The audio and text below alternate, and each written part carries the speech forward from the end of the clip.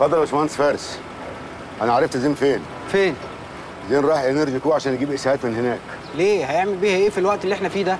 مهندس فارس فهمني إن في موجة كهرومغناطيسية هتضرب الأرض كلها. وساعتها بقى تقضي على كل الآلات والأجهزة الحديثة. الصاروخ اللي بيجهز ده أنا كنت شغال عليه بنفسي.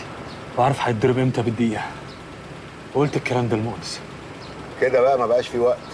عشان كده زين بيحاول يعمل درع عشان يحمي بيه نفسه. أنت شفت الرسومات اللي هو كان عاملها؟ آه. والدرع محتاج إسيهات عشان الطاقة. والضربة دي لو حصلت يبقى زين هينتهي.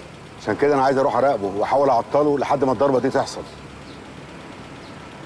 طب آه، طب ما تسيبه ريس يعمل الدرع ده عشان نحمي بيه الأجهزة بتاعتنا. وبعد ما يخلصوا اقتله الدرع اللي بيعمله ده مداه قليل قوي يعني حوالي كيلو. والضربة دي لو حصلت هتضرب الأرض كلها. يبقى الدرع ساعتها ملوش أي لازمة. طب سيبه يعمله واحمي نفسك. أنا عارف كل حاجة. وعارف أنت إيه من زمان. أنت ما عندكش ابن. والتربه اللي بتاعت مراتك وابنك ديت بتدفن فيها الأسلحة والتصاريح والاسيات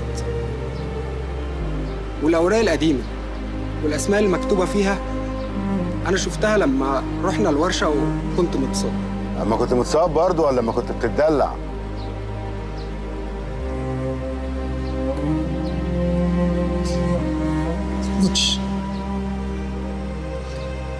عشان خاطري ما تموتش. ولو الدرع ده هيحميك لو وقفت تحته. احمي نفسك بيه. لو حياتك مش فارقة معاك فهي فارقة معاك. يا ابني أنا وجودي ملوش لازمة. أنا مش بني آدم. وجودي في الحياة غلط أصلا. الغلط هو الكلام اللي انت بتقوله ده.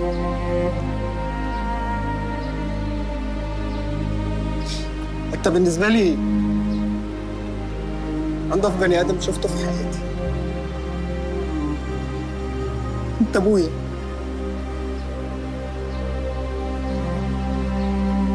خلاص لو عايز تساعدني فعلا خد الباشمهندس وديه لأبوه.